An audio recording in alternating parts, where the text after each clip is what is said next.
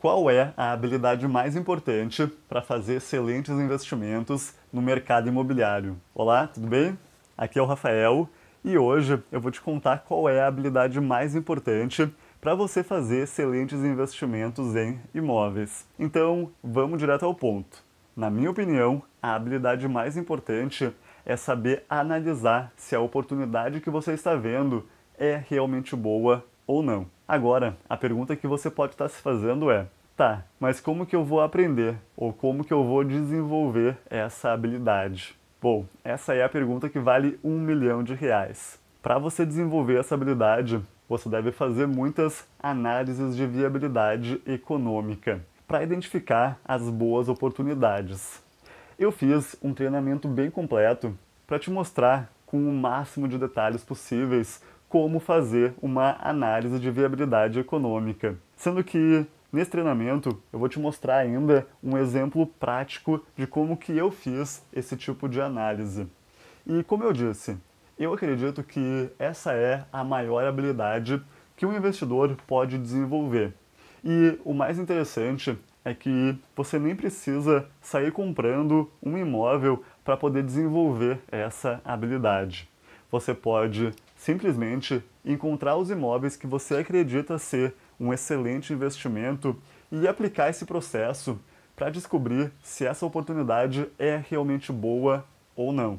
Agora, deixa eu te contar tudo o que você vai aprender nesse treinamento. Esse treinamento foi dividido em seis aulas, sendo que na primeira aula eu faço uma introdução ao tema e te explico como fazer uma análise de viabilidade econômica. Já na segunda aula, eu explico o que, é um método involutivo e como que você aplica essa análise para verificar se vale a pena comprar um terreno e fazer uma construção. Já no vídeo 3, eu te explico como estimar o custo da construção através do CUB, que é o custo unitário básico. Já no vídeo 4, eu te mostro como usar o método comparativo para encontrar a receita do empreendimento que você vai construir.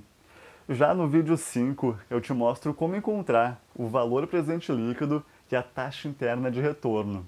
Eu sei, eu sei, são nomes que parecem complicados, mas fica, mas fica tranquilo que não é nenhum bicho de sete cabeças. E por fim, nós temos o vídeo 6, onde eu vou fazer algumas considerações importantes sobre esse tipo de análise de viabilidade econômica. Nesse treinamento, eu usei o exemplo prático de uma análise de viabilidade que eu fiz para verificar se valia a pena fazer uma construção sobre um terreno.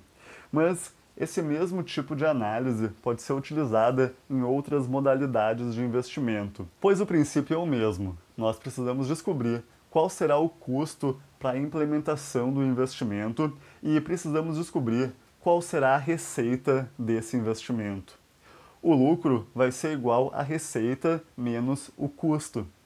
Por fim, nós ainda precisamos descobrir quanto tempo vai levar para esse negócio acontecer e quais são os riscos associados a esse investimento. Com esses elementos definidos, nós podemos analisar se é ou não viável fazer um negócio. Sendo que nessa websérie ou nesse treinamento eu explico como que você pode fazer isso para a construção de um empreendimento sobre um terreno. Agora eu quero saber de você. Pronto para dar o próximo passo? Então inscreva-se agora mesmo no portal Educar Imóveis para ter acesso a essa super websérie e descobrir como fazer uma análise de viabilidade econômica para saber se vale a pena ou não fazer um investimento comprando um imóvel. Mas é isso então, eu vou ficando por aqui hoje com essa apresentação e a gente se vê de novo na próxima. Forte abraço!